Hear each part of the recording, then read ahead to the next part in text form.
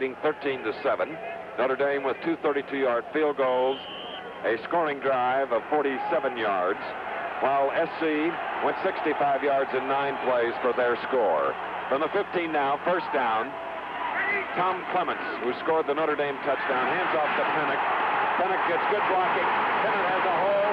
Penick is up 40.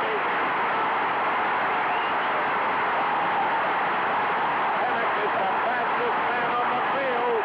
85 yards.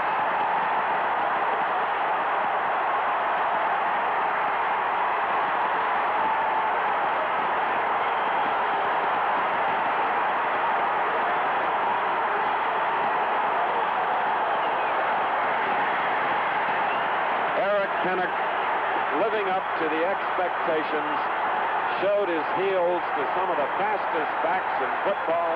85 yards. What a play. I would say that Penick range instead of pandemonium.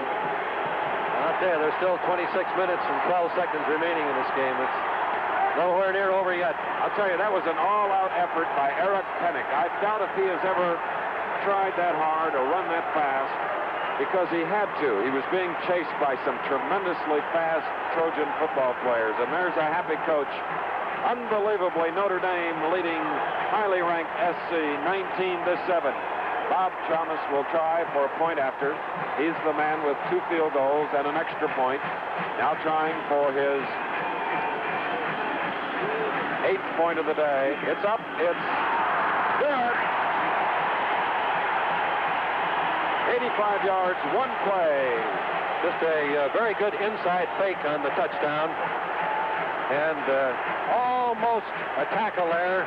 Another one just barely missed. And now try to catch me, boys. and yeah. This is Woods, the linebacker from Southern California, moving to the outside. He was delayed by that little bit of inside fake. He was partially blocked.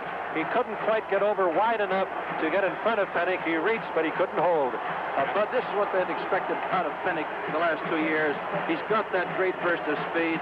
Maybe he'll come into his own now and be the truly great back that everybody hoped he would be.